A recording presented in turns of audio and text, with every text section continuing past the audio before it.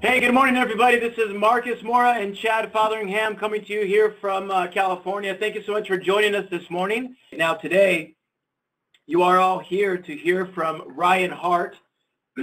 our uh, he was just awarded our fastest growing franchisee at our 2017 conference. And so Chad and I are very excited to introduce him to you guys. Chad and I just want to take two seconds to tell you really what it is that we do. Uh, Chad, so take us back in 2007 when you guys started the business Uh-huh. and tell us about the two business models that uh, we really have perfected since 2007. Yeah, well, I think to, to understand, when, when Top and I first started Amada Senior Care in 2007, he'd already been in this market for about 10 years. I had worked for Pfizer Pharmaceuticals for about 10 years as a sales rep and eventually kind of worked my way up as a national account manager. And he had run his own nurses registry where he had nurses and caregivers that he'd put in the home. So he'd been doing that for 10 years. Um, we got back together. We played football together in college, so we kind of caught up for lunch. And at lunch, we got to go visit one of his clients who was on hospice, and we spent about an hour and a half there. And after that experience, I I, I exited the house with Top and just told him, I, I said, "You're you're lucky. You uh, you have a really cool job. You get to make a real difference in people's lives." And the caregivers that you put in their homes are, are life-changing. And a week later, he invited me to lunch again, which was not common because we usually catch up every, you know, three, four, five, six months. Uh, and he invited me to start Amada. And at that point, we, we focused solely on non-medical home care. And we and he'd already been doing that, and he understood it. He'd been in the market for 10 years. Um, but three to four years into Amada, we actually expanded our service where we started offering assisted living placement services. And we started doing that because a lot of the people that we came across that needed home care, at a certain point, they would need to transition and go to a different level of care. They need to go to an assisted living or a boarding care or adult family home or memory care facility. And so we set up contracts with the different boarding cares and assisted living so that when we positioned them and helped them find that place, that there was, uh, you know, that there was financial incentive and they were able to pay us a referral fee for doing that. And what we liked about that was we ended up doing what was right for the client. We, when, we, when you're only a home care company, you have a tendency to push home care and to focus on having caregivers in the senior's home. But when you have these two different models, you just end up assessing the patient on a regular basis and doing what's best for them um, and, and getting them into the right environment, whether that's in the home. And the large majority of people want to stay at home with the caregiver, but there's also people who, based on budget, care needs, and socialization needs, may want to be in a facility with other seniors and other levels of care. So those are our two major um, uh, areas that we actually provide services in. We also offer technology packages for families using pressure sensors and infrared sensors. Uh, it's a very small, small part of what we do, but the, the main two areas are home care and assisted living. So that just gives you a brief understanding of you know, we basically find these caregivers, we hire them, we train them, uh, we go out to the hospitals and skilled nursing facilities and we tell the, the discharge planners that we provide this service. They give us the referral, we put the caregiver in the home and we kind of make that match and, and, and we manage that process um, or we help them find an assisted living. So those are the two main services we provide. Is that enough, Marcos, or do you want me to get a little deeper? No, that's perfect. That's perfect. And, and it, we're going to talk a little bit more about that with Ryan as well, talk about his territory, how he's doing those services there. Um, but again, we always want you guys to know the reason we started franchising is by 2011, Chattatopa were already doing 11 uh, or, or, I'm sorry, we're already doing 7 million in gross revenues. By 2013, it jumped up to 8.7. And this is the same model that we're uh, helping our franchise partners build in their territories.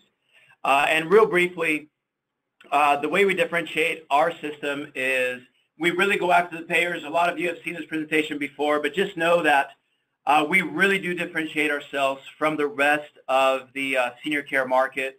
Uh, we're not just about, we have loving caregivers. We really are about finding a solution uh, for seniors. We advocate for them to make sure that they receive the best care possible. And we also service those payers, the, the payers that are paying so much money throughout the nation uh, for home care.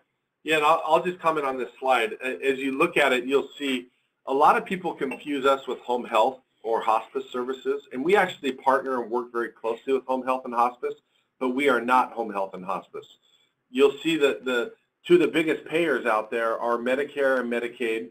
Um, as well as employer-paid health insurance. Those areas focus on the medical side of the client, which in many cases means putting a physical therapist or a nurse in the home through their Medicare benefit. We specialize in all the other payers, which is the VA, cash pay, where people pay, pay for our services out of their pocket. Uh, workers' comp insurance actually pays a lot of times for people who've been injured to have caregivers in their home and take care of them, as well as long-term care insurance. Um, and we really specialized and niched our services within these payers that are not your traditional Medicare, Medicaid, employer-paid health insurance um, type payers. And the reason we did that is when I was in pharmaceuticals, um, the most fluctuation, you know, you could have really good years if you were doing a lot with Medicare and Medicaid. The the rates that they reimburse could be good, but they could just out of nowhere come up with a rate change and your business could tank overnight. We didn't want to be tied or constrained to what Medicare does or doesn't do. So we built a business around these other payers that are a lot more stable and in, in many cases are more profitable, um, you know, long term. Uh, we are now dipping into to Medicaid benefits. A lot of the states with the Affordable Care Act have changed. And there's a lot more Medicaid dollars that are out there. And in many cases, those Medicaid dollars are going to caregivers. And so in some cases, we, we do see that we are dipping into the Medicaid, but that's usually is more of a, uh, it's kind of a, a side benefit and a side strategy um, that we put into place. So that's kind of where we're at. And what I'll do is I'll kind of, I think what's best, you, you kind of have a general understanding of what we do and how we do it, but I'm actually turn the time over to Ryan. Ryan is uh, one of our fastest and best growing franchise uh, uh, partners. He's done a phenomenal job. Um, he's an ex-Stryker rep, and he uh, actually was just awarded at our at our franchise conference in February the fastest growing franchisee. Um, he is he's done a really nice job of building his business, and I think what we'll do is we'll turn the time over to Ryan and have him talk a little bit about his experience, as well as potentially have uh, him answer questions from you guys. Thanks, Chad. Can everybody uh, hear me okay? I mean, from your end anyway? Yeah, yeah, you're coming out loud and clear. Okay, great. Yeah, so I, I worked for um, I worked in med devices for about 10 years. Um, most recently for Stryker, I ran a, a, uh, fairly small team in the reconstructive market here. Um, but when I started the territory, we were doing about three million, and uh, by the time I, I quit last year, um, uh, we were up to six and a half million in uh, in sales. So you know, I've had some some great success in the in the medical device field. Um, I worked for Zimmer for a stretch as well, if that means anything to anybody. But um, so I, I talked to my wife about this kind of mid last year, and we thought, uh, you know, it looks a little bit too good to be true, and you know, what are we going to do? Um, I was kind of on a transition out of the medical device. We had a lot of weird stuff happening with contracts here.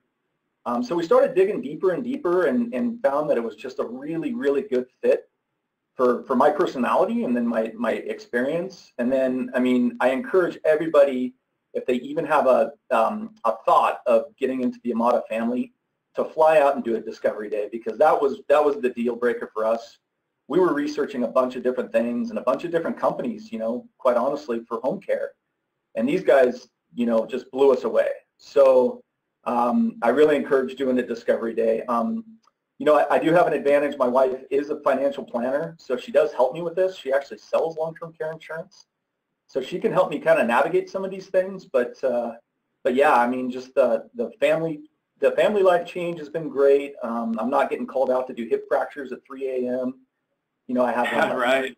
I have a I have a really good staff now. I have two uh, two girls that have you know 50 something years of experience together in, in geriatrics, and then and then in the home care business. I have them working full time for me now, um, so I can really delegate a lot of stuff and and you know, I'm still out in the field selling every single day. I have a presentation today and to a big hospital system.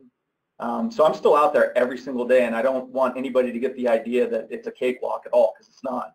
You have to work really, really hard, but it's so incredibly rewarding. I mean, every single house that I walk out of, when the people are, are hugging you as you're walking out, I mean, it's just the most rewarding thing in the world versus standing in the OR, you know, getting screamed at by a, by a orthopedic surgeon all day, which is kind of my old life. So, so yeah, that's just kind of my. my hey Ryan. Yeah. Now tell us about. Um, so how long? How long uh, have you been officially running the business now?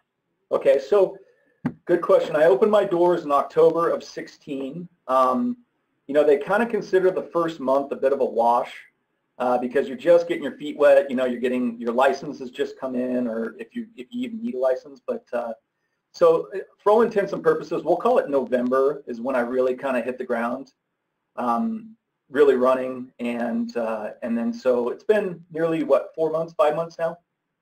Yeah. Okay. And um, you know, some uh, sometimes I, you may get this question too, but I see some folks on here uh, that we've been talking to for some time, and one of the questions I get is, is, do you need a partner to do this? You know, how many of your franchisees are single operators? How many of them are partners?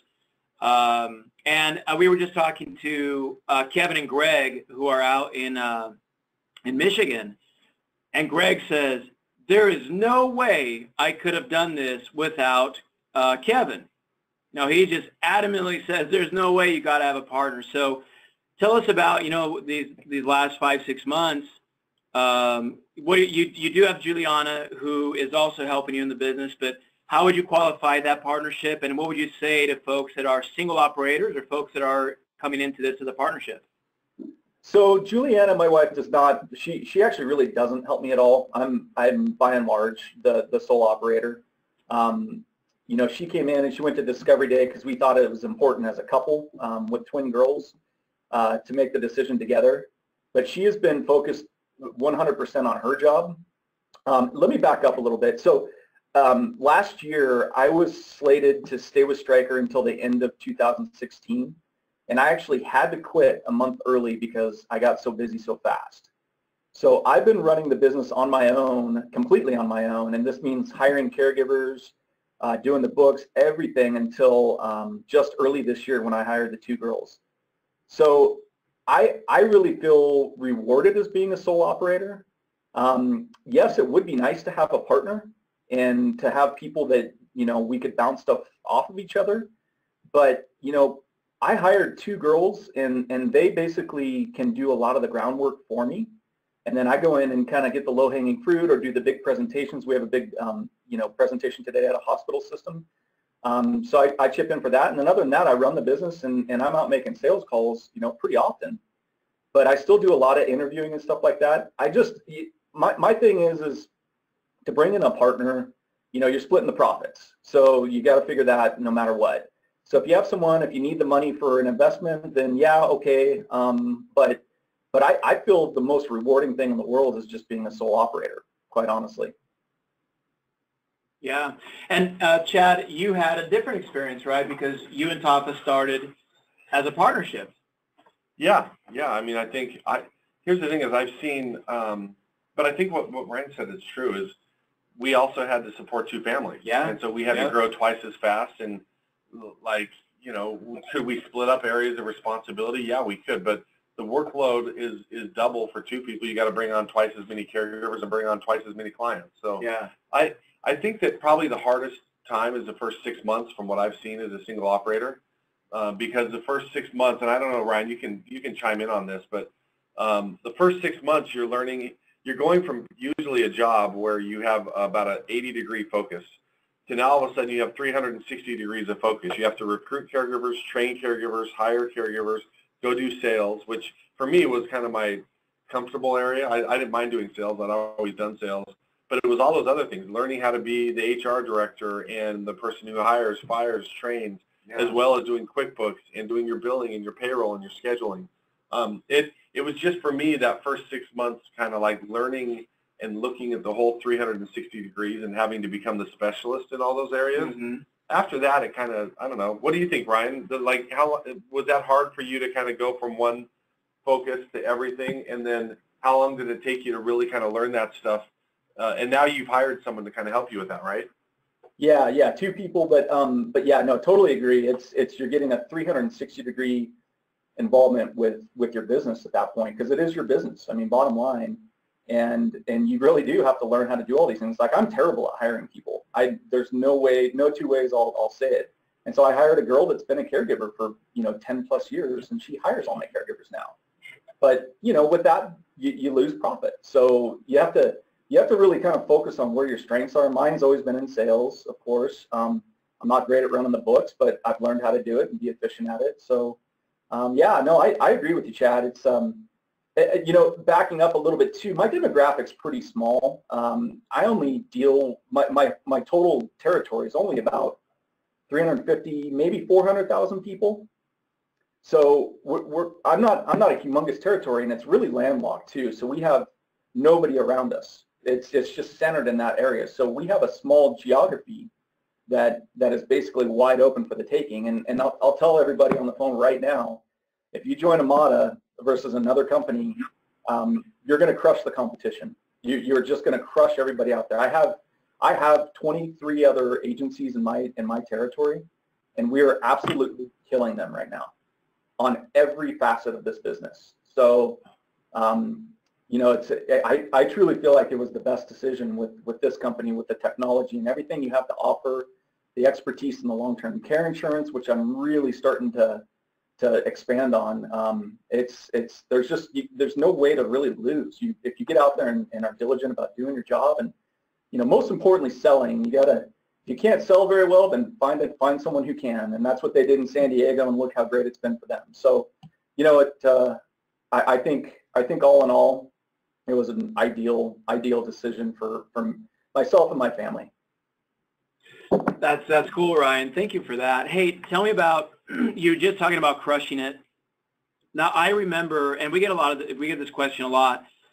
I remember when Chad set me down, 2011, 12 or so, we were talking about franchising this business. And he put up, you know, the differentiation, right? Long-term care insurance, the VA, and and and and I, I said, well, I said, come on, man, you're telling me that the competition is not doing this, that they're they're not going to every single hospital that I'm going to go to, that they're not, you know, I, it didn't it didn't make a whole lot of sense to me. So six months in, Talk about how how is it that you you're able to crush it? What what have you noticed about the competition in your market? Maybe that's maybe that's a better question. Yeah, good question. So most of the competition out there, they have marketing people, so to speak, but these marketing people are terrible. I mean, they just are. And I don't think that they, you know, I don't think that they pay these people very well. Not that I pay mine a ton of money, but um, but I don't think that they pay very well, so they get, you know, sub-quality people. But most importantly, the thing that I've really driven my business on is, is caregivers. And I started hiring caregivers at a buck or two more an hour than any other place in town. And I actually tell every single client that. So that's that's kind of first and foremost. I focus my business around the caregivers because they're the ones that will completely make or break your business. Um, and I've had situations already where you know we've had to fire people because of this or that, but um, but I've really centered my business around that. And now I'm expanding out. So now I'm expanding to hospitals. We're doing a lot of hospital stuff. Um, now we're doing a ton of long-term care insurance. I did um, I did uh, just started a campaign last week actually, a TV ad campaign um, where we're we're literally talking about being the long-term care experts on every single one of the commercials. And so when you say that, and people, you know, not a ton of people, I think only, what is it, 12% of the, of the nation has long-term care insurance. Not a big number, but they come out of the woodwork to come talk to you. And if you center your business around something like that, then there's just nowhere to go but up. And then we have other things. We have the technology. We have, you know, the VA. We handle the VA stuff very well. Well, you know, in Nevada, we can't do placements into into assisted living, so that's something I've had to circumvent. But that's right. You know, yeah. Yeah. So, but but so I just do all home care. That's all I do. And I focus my head around doing home care sales every single day or, you know, telling them that maybe my, my service isn't right. Maybe we need to go look at some assisted living. I don't get I don't get paid for it, but I still do it because that's what's right for the client. And then I told my I told my staff the other day, you know, as long as we do the right thing on a day-to-day basis, we are going to continue winning and that's all it is. I mean, it's just there's it's it's dirt simple. It's it's nothing fancy about it. You know, you just go out there, you make friends, you get referrals, you you, you build your referral source base, and pretty soon, I mean, you know, I, I can barely handle the growth I have now, and these TV ads have just started. So I can't imagine what's going to happen. We're going to have to hire you know 10 new people a week just to sustain the growth. So um, that's how I've done it personally. Um, I spent probably a little bit more money on you know, going to mixers and, you know, joining social groups and stuff like that. Um, and then advertising than most people. But I'll tell you what, it's been, you know, there's nobody out there that doesn't know who I am now, and I'm quite frankly scaring all the other home care agencies out there. I love it. I love it. Now I've got a hand raised by uh, Michael Antonelli. So uh, Michael, we're going to try to unmute you. Now what you'll need to do, Michael, is uh, put in your your code on your computer so that you can unmute yourself as well. Uh, let me see if I can send you the code, but you, you should be able to see it on there. But you are unmuted, Michael. You just have to be able to enter your code in to be able to connect your computer to your uh, to the GoToMeeting so you can ask the question. Uh, while you're doing that, Michael, I've got some other questions here typed in. Thank you so much, guys, for typing these in. So, Marcos, um, if, you don't mind, if you don't mind, let me um, let me just stop you for one second. Um, yeah. I'm, I'm, sure Mike Mike Antonelli can hear me. Um, I worked with Mike for the last four years in uh, at, at, a hospital. He's a uh, he's a he's a good buddy of mine. So hopefully he doesn't. No way. Yeah, he doesn't. Hopefully he doesn't bag on me too much. That's awesome. Hey, Michael, we've we've got uh, we got the inside scoop on you, buddy. That's cool. Okay, so now I also have. Um, so Tim had a couple of questions. Um, what was the biggest challenge in getting the business started? And then he says, was it, and I think you were saying is, was it initial customers or what was the biggest challenge you found? Um, I would say the financial part is definitely challenging. Um, we did it a, a, little bit differently than most people have done it, um, but that's that's a big that's a big hurdle for a lot of people. Um, and then I don't think getting the customers was was that challenging. It was just learning how to run a business because you know, working for a big corporation, you know, your HR, your payroll, all that stuff is handled. You don't think about how much time that consumes.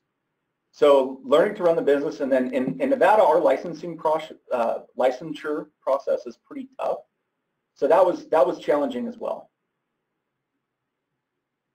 Now tell me about, uh, and, and Stephen also has that question about um, what what was really your initial investment um, and how much in reserves did you feel comfortable having uh, uh, to, to be able to, to um, well, he says, let me read it. What was your initial investment and how much in reserves did you require to operate currently? Um, it's okay that I answer that honestly, correct? Yeah, absolutely. Okay, all right. Um, so, so, so far into this business, I've put in um, nearly $90,000. And that's, that's for everything. So now I, I, have, I have two wrap cars. I have an office. I have um, 35 caregivers and then two full-time office staff. Um, and I am, I am now not only breaking even, but I'm actually making money every month.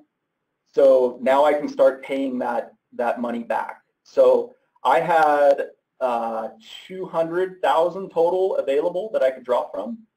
Um, so I had about a hundred and something thousand dollar cushion. Got it. Perfect. And is that 90? Are you including the franchise fee in that as well? That's everything up to date. Everything said and done. Okay. Licensure, everything. Perfect. Um, hey, and uh, Nate, uh, Nate asked, uh, you mentioned you had run a conventional business uh, and you're now doing more hospital stuff. I think we know when you said that you, know, you did a lot of long-term care insurance and now you're working with, with, uh, with doing a lot more hospital stuff. Can you talk yeah. a little bit about your involvement in, in mark? I think what you meant is, you know, you're marketing more to hospitals now, correct? We're doing a lot of that. I mean, we market everywhere. Um, my, right. sales, my sales girl makes uh, probably 50 some odd uh, sales calls a week. Um, and we market a lot to long um, assisted living and independent living communities because we have probably 10 clients in independent living because they need caregivers too. Um, but the hospital bit is really good if you want to look at expanding your business and then somewhere where no other company is doing it. And I can almost guarantee you guys that there's nobody that has the knowledge of the hospital system, the Medicare system, that Chad Fotheringham does. There's nobody out there.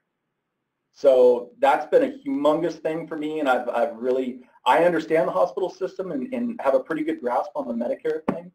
But um, but if you can if you can really get your arms around that, I mean, you can market to these big CEO, you know, C-level executives of these of these hospitals, and then you know if you can get a contract or you know some sort of agreement with a big hospital and they're referring the patients to you, I mean, there's just you can't lose at that point. I love it, uh, Chad. Thanks, Ryan. That's kind words. I owe you lunch. All right, buddy. Hey, and, and this is a question for both of you guys. It's a really good question from Tim. Uh, typical length of time the customers end up being uh, your customer. Uh, I know that somewhat is all over the all over the uh, the map, but there is an average that the industry talks about. Uh, so let me ask uh, Ryan, if you will. I mean, it's only been now five six months, but uh, have you been able to identify an average length of time you have a customer? And then Chad, you can probably talk about your uh, your, yeah. your 10 years of experience as well. Yeah. Yeah, I'd say I'd say that question is really situational. Um, you know, a lot of these a lot of these people, I'll go in and, and sit with them on their couch and talk about the things, and we'll start them that day. Um, and then some of them are coming out of a um, like a skilled nursing facility or something like that, and they're not going to start for a month. So it's very situational. Um, but I would say most of the time they need the help and they want to get started pretty quick. So if, if you can, my, my advice to everybody is if you can get into their house, you have what, what is it, like a 90% close rate at that point? I mean, there's no reason you should go meet with someone at their house and not get the business. Um, it just depends on when they want to start. I'm waiting on a lady now that's starting um, tomorrow, I believe. Um, that was in an assisted living because she had had to stay at a hospital and they, they discharged her into an assisted living. And, uh, and she hates the place, so she wants to come back home. But that's been a month. So, you know, you, you can't you can't put her in the pipeline as a positive, you know, an, an absolute, but you pretty much know you have her if, if, if you're the only one she's talked to. So I would say, Chad, you would you agree with me? It's very situational. Yeah, totally. And I would even say from the, you know, how long it takes you to bring them on service, um, it, it can be, you know, you can get a call and meet a family and they say, I want, I'm discharging in an hour, I need someone there.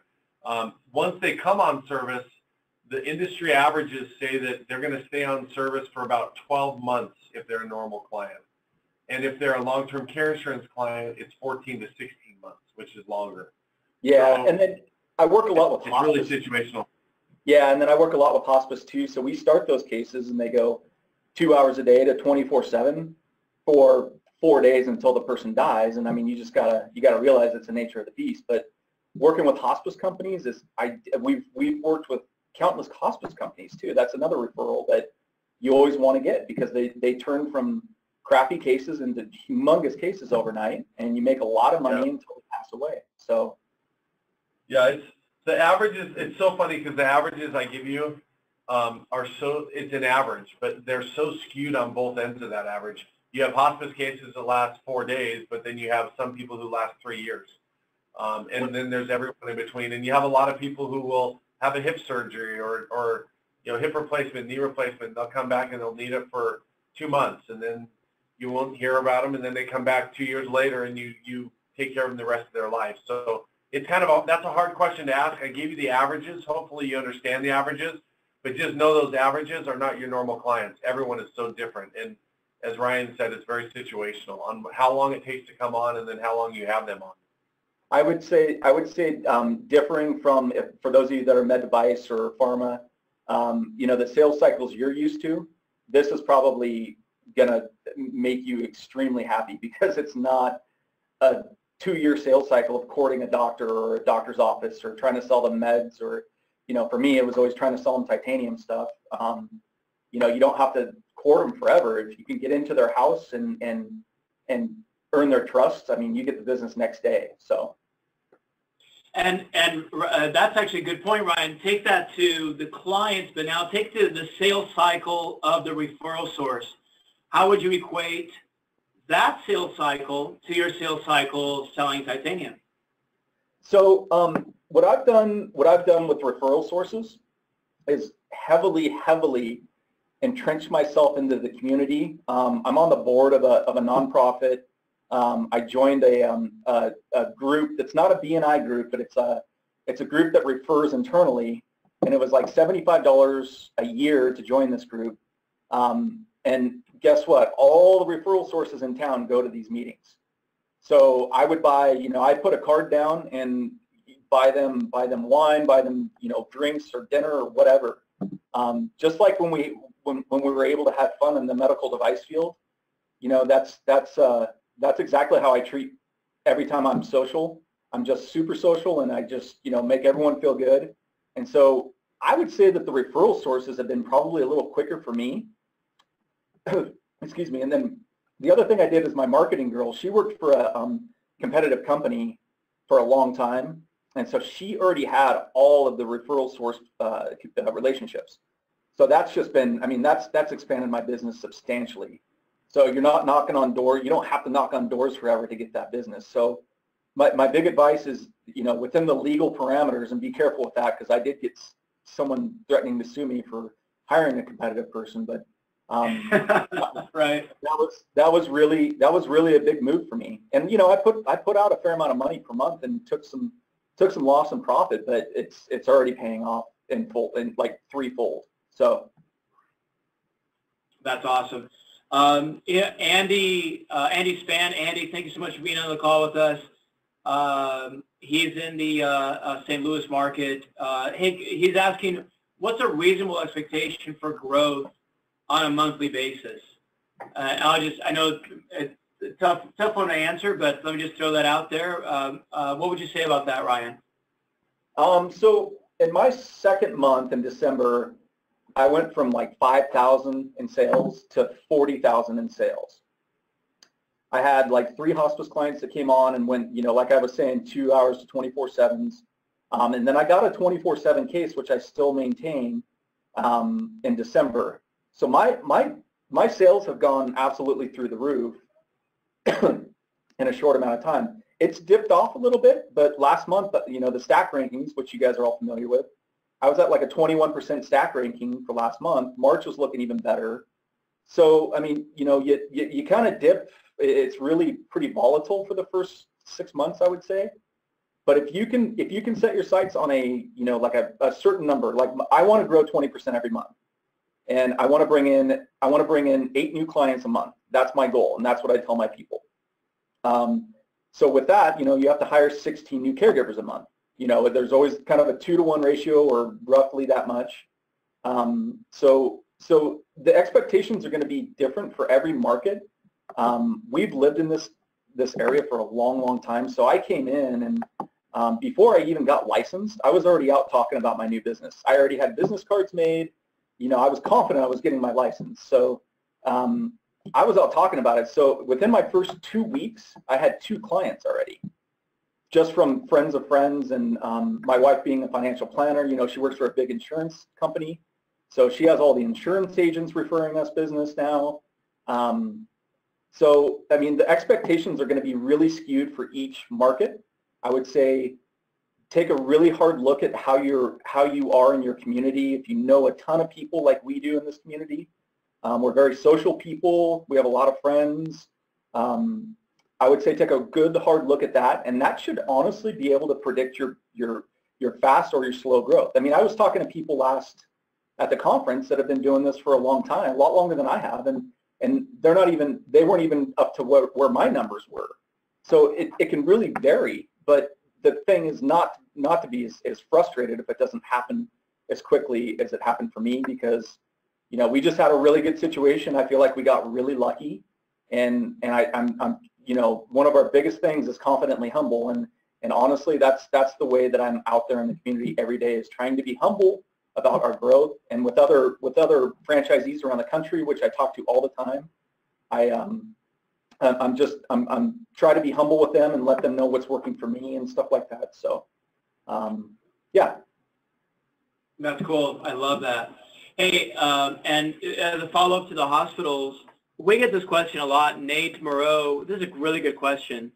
Um, he's saying, you know, a lot of hospital systems, they provide home care. You know, they have a, a home care division. So uh, why would they why would they outsource? Why would we be able to call on them? And he's asking you, do you profit share with them? Is that what it is? Are we paying the hospitals money to get the business? Um, so talk about that environment that you're finding there in that Reno market. So um, most of our hospitals around here do not have their own home care companies. I would say by and large, I don't, I, I haven't heard of any any hospitals having their own home care, non-medical home care. I mean, oftentimes they'll have home health, but that's totally different as we talked about earlier. Um, home care is, Yeah, I'll, go ahead. I'll chime in on that. This is Chad.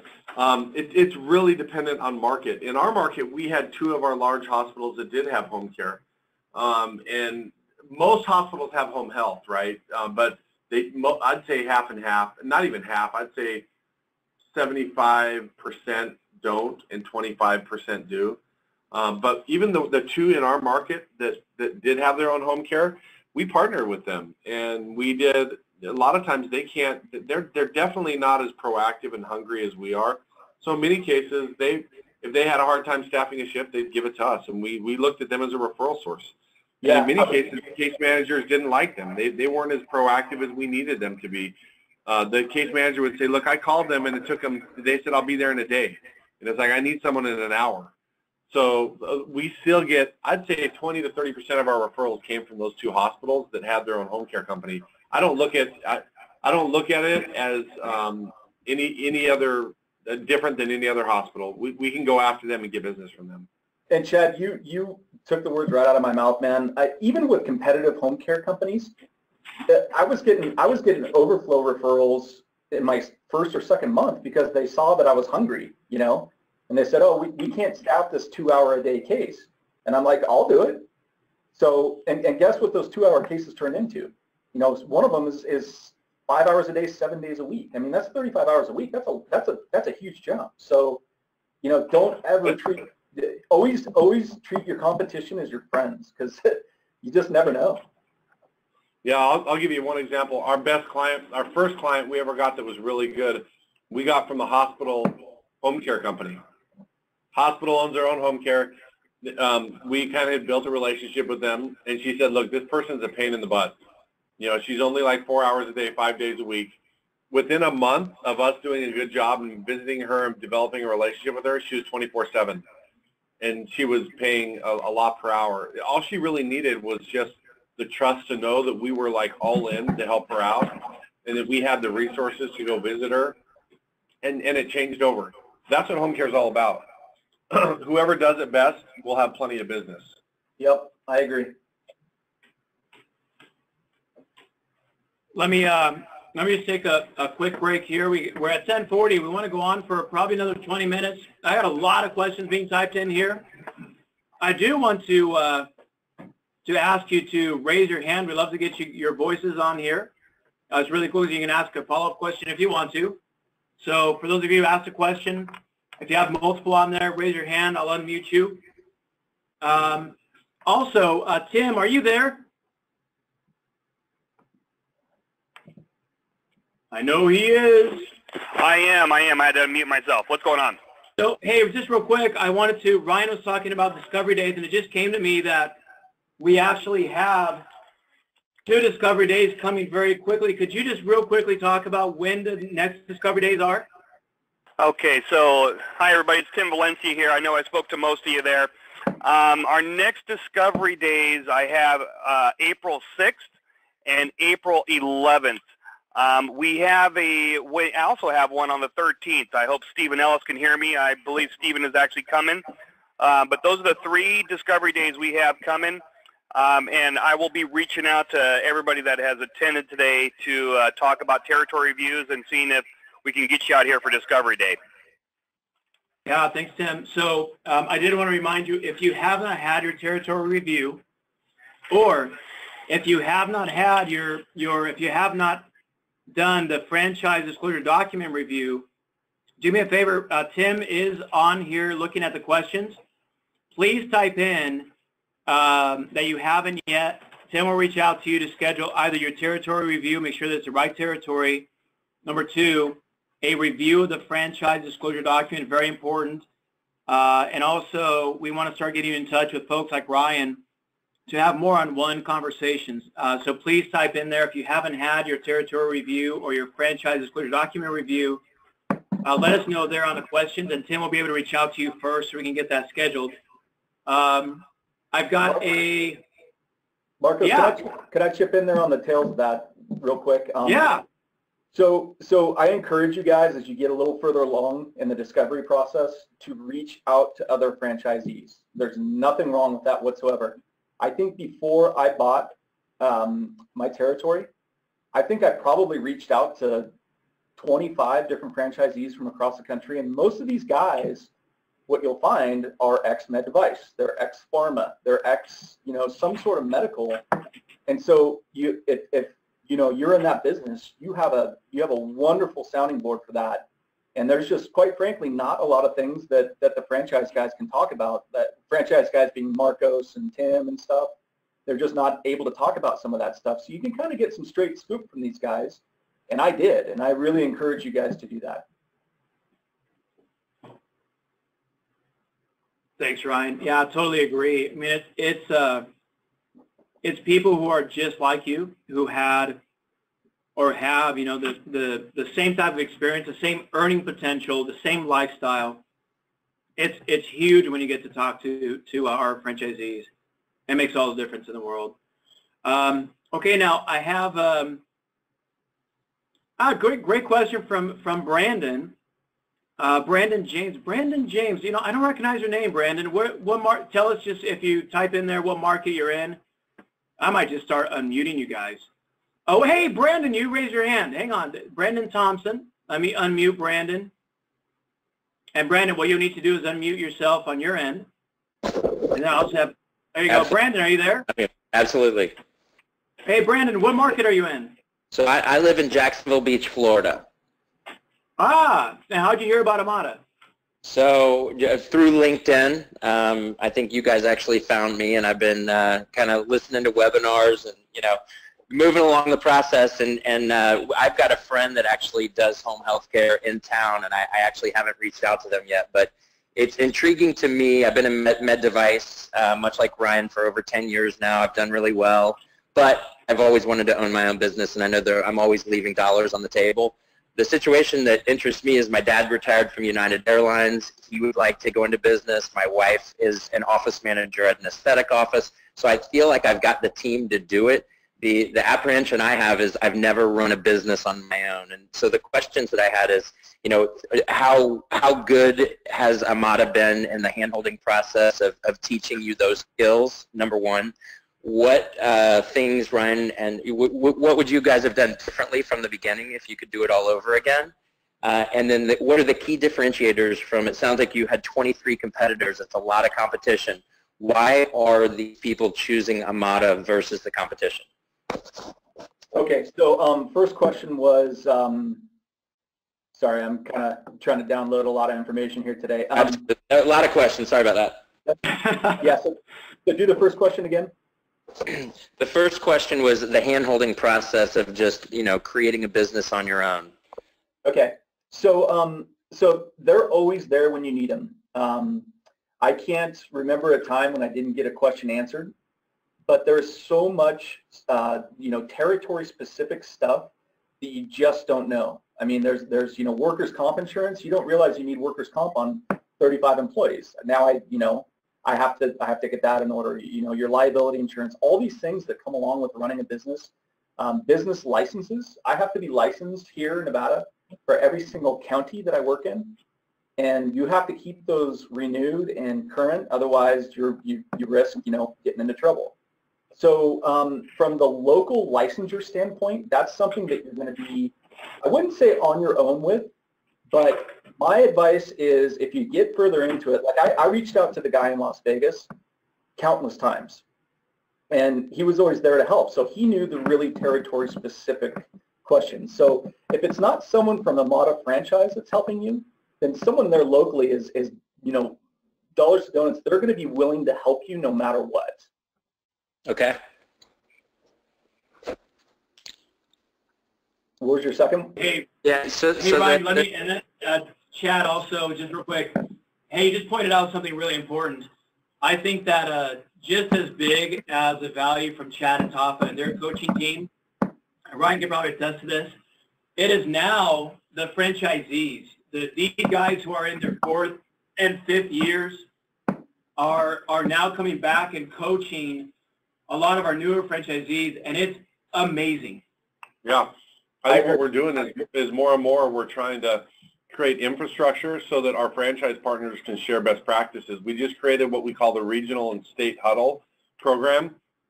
So from a licensure perspective, like Ryan had mentioned, we're actually now documenting all the licensure process that people in that state have, and we're sharing that amongst other Z's or franchise partners who come in. And even on the regional huddles, which is more performance-based, like KPI specific, key performance indicator, even best practice meetings and how we share best practices, we now have formal processes. And we're finding that what Tafa and I knew is important, but even, I would say for the first six to 12 months, anything you come across, we've already been across it. We can answer those questions. We'll walk you through it. We give you a lot of training. Half the training we give you, you forget in your first month. And then you start to learn and say, well, and, and we don't even try to teach you everything to the point that you memorize everything when you come to training. We even tell you when you come to training, you're not going to memorize all this. All you have to do is remember when you get to that point, we have something that will help me and I need to call the right person and they will help me through this process. That's our strategy because there's so much. You're looking at 360 degrees now that you're responsible for. You can't remember it all. We can't train it all to you in the first month. So what we train you on is that, look, here are all your assets. Here are all your resources. When you get to this point, call us and we'll walk you through it. You call Emily, who's our technology training person, and she'll teach you how to put input a client in the system, how to input a caregiver into the system, how to do QuickBooks, how to create a schedule. So we're always here but we have to kind of work at your pace. Ryan, I don't know if you want to comment on that. No, I, I, I agree with you, Chad. It, it, I remember my week of training coming out of there, and I had to do my um, I had to do my video that's now on my website, and I was so fried from a week of training that I couldn't even I without coach, I couldn't even do my stupid video. So like I was just I was just I was just drained with information. I mean, you know, you're you're basically learning all about Amada, but you're also learning how to run a business effectively. So I, I would recommend, yeah, just using the franchisees and, and everybody's really willing to help. I haven't talked to one franchisee that has said like, no, I'm not going to help you. So, and I mean, what do we have? 85 locations now across the country? Yeah. Something like that. So, I mean, you have so many resources within the franchisees. And then within the franchise system, I mean, I haven't talked to anybody that's been like, well, no, I, I got to defer you because I, I don't know what's going on. Everybody knows what's going on. And I had a 25 minute conversation, 25 minute conversation this morning with Tafa himself about a long-term care claim. And he, he was just like, did you do this? Did you do this? So, I mean, you still can be involved. And I, I've never had Chad not answer his phone when I call. I mean, I don't, I don't blow these guys up, but at the same time, if, if I'm calling, you know, they, they probably know that it's something that's, I, I need direct help with. And Chad, I think you remember the last conversation you and I had about my client. It was, uh, it was not exactly a great situation. So, but he he'd been in the situation and kind of coached me through how to diffuse it. And next, my next call was to my client. So, I mean, it, there's just there there really is help. You guys can call me anytime to, um, you know, I really encourage you to reach out before you get into the process. So, um, but yeah, Brandon, to, to answer your question, I think that I think that the the help has been amazing. Thank you. Uh, there was a Brandon. There was a follow up. There's a second part to that, right? Yeah. So so I just two two other questions. One is Ryan, what would you have done differently from the start if you could have done it all over again? And the last one was if you could just kind of name three or four of the top key differentiators of of why they're choosing to do business with you versus the competition. Sure. Yeah. Okay. So so from the start, um, the only thing I honestly would have done differently is um, wrapped my car quicker. That is the only thing that I would have done differently. Other than that, my licensure process, I was super diligent about it. I was still working for Stryker, so I had the income coming from that. Stryker knew that I was leaving. I mean, I know it's not going to be that situation for everybody, but I was, you know, basically double dipping for several months, so I could kind of sit back and get everything in order, and I was really diligent about it. I mean, I kept extensive files and just had everything really, really well organized. Um, so when I got licensed way quicker than anybody else in Nevada, um, I was going and dropping off coffee carts to the lady at the state office. I mean, really, I, I just, I'm not afraid of greasing people to get what I need, you know? But as far as doing things differently, I personally would not have done anything differently. I thought it went awesome. Um, and then the, the, probably three differentiators. Um, number one, being genuine. Just be genuine with everybody you talk to. And um, and that gets you so far in this business, it, whether it's a referral source, whether it's a potential client, if you're out and about and, you know, someone, like now I'm getting calls off my car all the time. And every single phone call I, I spend as long on the phone with them as I, as I need to with a potential client. And then the referral source is the same. Just be genuine. If you're genuine, you will get you will get through so much quicker because there are a lot of weird people out there working at these other agencies. Um, and then we have we have far and away probably the best technology of any company out there. Um, this Amada franchise um, is so forward thinking on that stuff that you'll find out very quickly that that's the big differentiator. I tell I tell a client that they can log in from Chico, California, and see exactly exactly what time my caregiver was there. They can see exactly what they did that day, and they can see exactly what time they left. They can log in from afar through their family portal and see that stuff. I mean, that's that's huge. But I don't only tell the client that, I tell the referral source that or the hospital that. Like we have the capability to do that stuff. Um, and, and most other agencies don't. I mean, seriously, you guys, they're, they're like faxing invoices and stuff, you know, and faxing stuff. And um, everything is handled through our software system. So the technology is, is just a huge differentiator. And then lastly, um, probably my third point is become the expert in long-term care insurance because that by far has, has now become my biggest differentiator.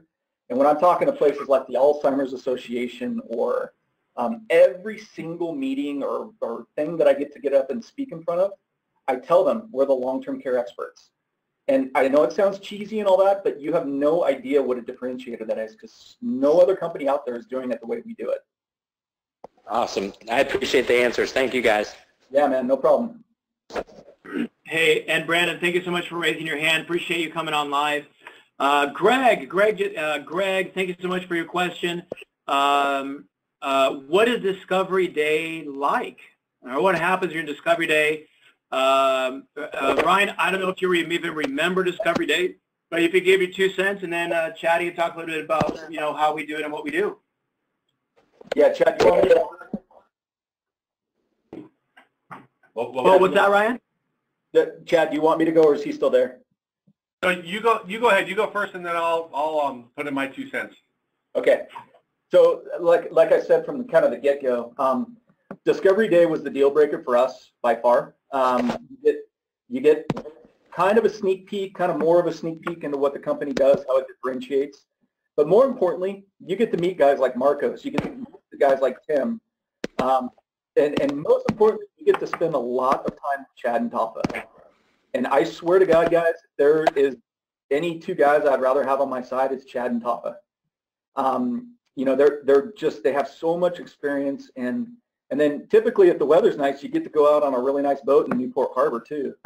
So uh, so it's it's a lot of fun. It's a lot of information, but I think that everybody is so transparent and you know not trying to pull any punches whatsoever. This is what it is, you know. Um, and what we found about Discovery Day is, is we were really vetting the guys at Amada, but what I think what sunk in most for us is that we realized that they were really vetting us, and that was that was huge for us, my wife and I, because you know they're not just going to give a franchise to anybody with a checkbook uh, checkbook and a heartbeat, you know.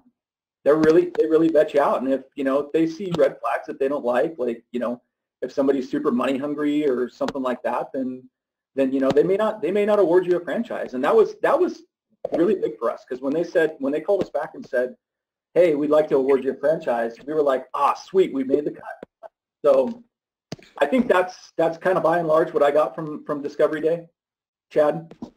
Yeah, I'll just I'll chime in, Ryan. I think it's interesting because we try to be overly um, disclosive and and overly transparent that day because we are really trying to let you know, look, here's all the benefits, here's all the here's all the risks, um, and here's what it takes to be successful. You have to be good at sales. You have to be able to be administratively sound. I mean, we were pretty honest. Like up to up to the point of coming to Discover Days, a lot of times it's Marcos and Tim, and it is it, it is to a certain degree us trying to convince you That, that's not what this day is. If anything, it's us trying to convince you and tell you why you shouldn't do it. Um, and what are the risks and what are the concerns. And to be totally frank, we spend about an hour talking about our company values and we go through every company value deeply and we say, look, if you don't have these values and you don't match up in these areas and, and, and you're not doing the business for these reasons, don't do it because you won't be successful. Ryan talked about being genuine. Um, one of our values is, is compassion and charitable. And if you're not genuinely doing this as your first and foremost reason because you like dealing with people and you like, like helping people, if you're doing this because you've heard about 80 million baby boomers that are coming in and they're going to pay a lot of money for home care and there's a huge market, don't do it. If you, if because you will not be successful. I'm not just saying that because it's like, oh, touchy-feely. I'm doing it from a business perspective. If you don't have your business built on the principles of these values and you're not doing it to help other people and your mission doesn't align with our mission, which is enriching the lives of other people, you won't be successful. The case managers and social workers and people who meet you, they will see through you and they will know that you're not doing this for the right reason. In fact, they're going to test you and give you those two-hour cases and say, hey, Ryan, take this one, see how you do with it. And if you go spend the same amount of time with that two-hour case that you spend with the 24-hour case, they know and they start to, they do that on purpose. They test you. And we kind of actually, when, when you come to Discovery Day, we're trying to like really ascertain, do, do our values match? And does our mission match? Because if it doesn't, you won't be successful and it's better for both of us if you don't do it. Totally agree. Hey guys, this is Tim. I have a question from Mike Seep. He just uh, he's emailing me. Um, he's asking how many franchises are there nationwide. Um, another one is uh, what um, what's the difference that uh, Amada has from our competition? Okay, uh, Mike's girlfriend is a social worker and said reimbursement is usually very low here in the Philly area. Uh, what is the fee and what does Amada provide for that? Chad, can you help me with this? Yeah, if I can remember all the questions. Um, so there's like three questions baked in there. I'll, I'll first start with the, um, the Philly market. We actually have some people who are having some success in the Philly market, and actually Philadelphia has one of the highest Medicaid reimbursement rates. So we actually, in some of our areas within the Philly and and uh, Pennsylvania market, are, are going after Medicaid. So I don't think client acquisition um, is I, I, don't I don't see that as being an issue. And if yeah. she's a social worker, depending on where she's a social worker, you know, if she's at a skilled nursing facility or a hospital, a lot of times social workers do tend to work on the low income side. And if she's assigned to the low income patients, then obviously she's going to see it as being a reimbursement specific um, problem. When in reality, that's not the market we go after. We're really not the Walmart of home care. Um, will we help other people who need that care and will, will, will we get Medicaid contracts? Yeah, we will because we want to help everyone. It goes to our mission. But we're not the low-end spectrum of care and we're not going to like have low margins and pay our caregivers minimum wage and have crappy caregivers giving a crappy level of service. That's just not who we are. Uh, you know, we kind of always look at it as we're the Nordstrom of home care and we're going to pay our caregiver a little bit more. We're going to get better service and we're going to provide a higher level of care and bill a little bit more. So uh, our our strategy is successful in different markets, and I, I, I think in the Philly area, I'd, I'd have to get deeper into what her experience is as a social worker and why she feels the way that she does. But I can tell you there, for every one social worker who deals with low-income patients, there's another 10 case managers who are discharging people who have long-term care insurance and yeah. and other things that really cost sensitivity is the least of their issues. That's one of the reasons we go after that market so heavily on long-term care insurance is because they they're not as cost sensitive or price sensitive, and they stay longer and they're good clients. And we we build an expertise in that area. Okay, that was one of the questions. There was like two. Tim, can you did I answer? Or was there two? Sure. Yeah, that that that's really good, Mike. I'm going to go ahead and send you out a recording um, of the program review. Um, I have actually just emailed you about times for a territory review. Um, he's asking, what is the fee? Your fee for your first franchise, Mike, is forty-eight thousand. Okay, and he was asking, what does Amada provide for that? Well, I, will I'll actually let Ryan answer that. I mean, a lot of it is um, for that $48,000, you become part of the team, and, and we basically train. We have 11 phases of training that we go through. Um, Ryan's fairly new, so he's in, I think, phase three or phase four right now. And our training and support team continues to support you. Phase one is what's called onboarding, where we do pre-calls to get you ready to come in for a week training here, which is phase two.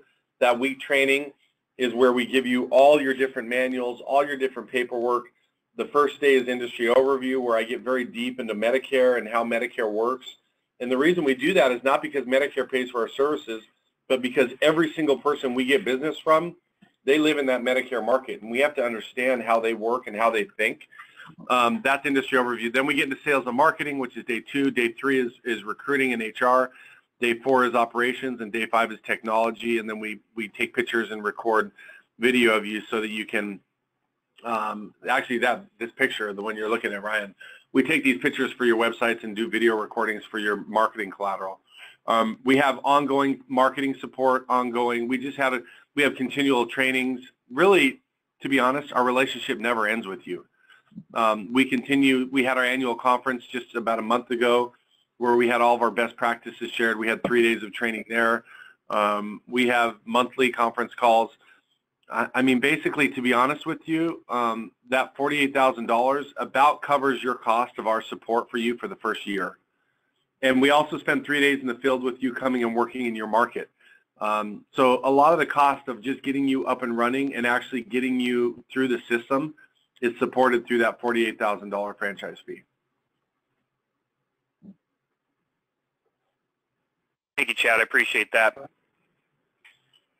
okay. Hey, Ryan. Um, we're we're really running out of time. Ryan's got a big meeting with his local hospital that he's got to run out to. I um, what I like to just end up with is we do talk a lot about the money, and it's important to make money. That's that's something that I've always uh, appreciated about Chad and Tafa is that uh, they're not coy, they're not uh, shy about saying we are in this to make a lot of money, but at the same time, uh, it does come back to the big payoff and the reason why we do this. And I, I, I remember falling in love with this business for that for that reason that the the the the more you focus on doing the right thing for the families, uh, the more money you make. So can you talk about these these last six months? Um, I don't know an experience you've had with helping a family or something that that you've come across that, that has just confirmed uh, why you made the decision you made to uh, to join Amada.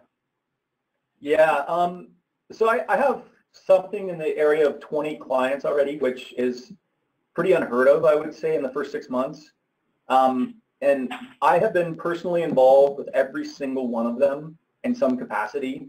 And every single situation has been so rewarding that I, I, I can't even put words to it. I mean, it's just you know, I say I say this business is very rewarding, very rewarding to everybody, but it really, really is. When you're when you're walking out of there of their house and you just spent two hours with them, getting them through their long-term care policy or getting them through, you know, this horrible time that they're in, which most of them are in. You know, mom doesn't want to mom doesn't want to go to assisted living, but she's way too frail to stay at home by herself. So we're letting we're letting their sons and daughters go back to work in, in most of the situations. So, you know, you, you, you quote them your price or you give them your price or whatever, they don't even bat an eye. You ask them for a, you know, sometimes a $5,000 check as a deposit. They don't bat an eye. They pull up their checkbook. Um, and you just help them through all of these situations that they are quite frankly just lost. So every single situation, and, and that's just, you know, being in someone's house. Going to like an assisted living or an independent living community and talking to, you know, the, the executive director of these places and telling them, hey, yeah, another another home care company is coming in to market to you. But guess what? This is what we have, and this is how we differ. And that's how I start every conversation. I'm like, yeah, there's 23 others in my territory, but this is how we differ. And then I say like three key points, and they're like, oh, can we can we have a follow up with our whole staff? And so guess what? Next week we have an in service, and then the following week we're starting to get referrals from these guys. And referrals are everything in this business. So if you're out and about and and you know just doing if you're at Walmart and you have an Amada shirt on and someone's like, oh, what do you do? You know, you spend 15 minutes talking to them about it. You just be compassionate and caring. That, like Chad said, that's one of our key values. if, if you're compassionate and caring and show that to everybody, I mean, you, you, you will win the business. And then in a small town like mine, kind of a good old boy town, I mean, once word hits the streets, it's just, it's, it's like wildfire. I mean, we're, our, my business is spreading like wildfire. People say all the time, oh, we see your cars all around town.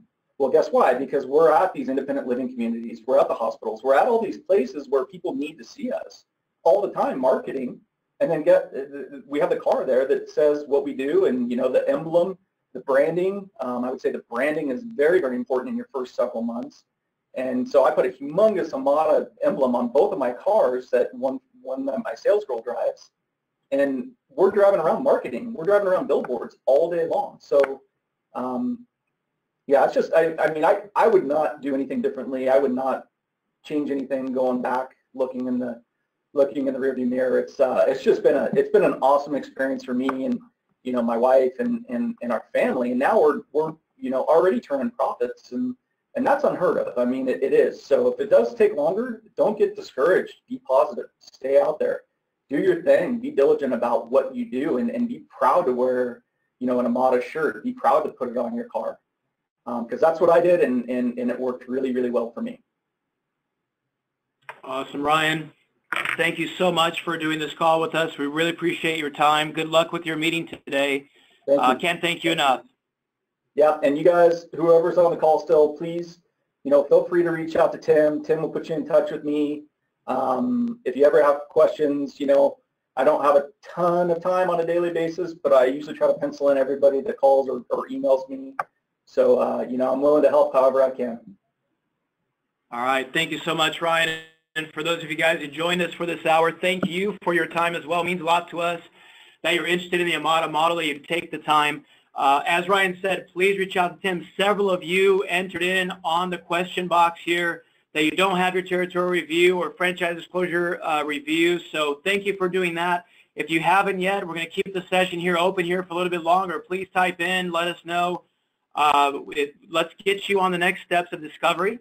Uh, so please go ahead and communicate with Tim. Tim will be reaching out to you as well, but he'll obviously reach out to those who, who are reaching out to him. So uh, get with Tim. Make sure that you schedule your time to go through your next steps of discovery. And again, thank you so much for joining us today. We'll talk to everybody very soon. Bye-bye.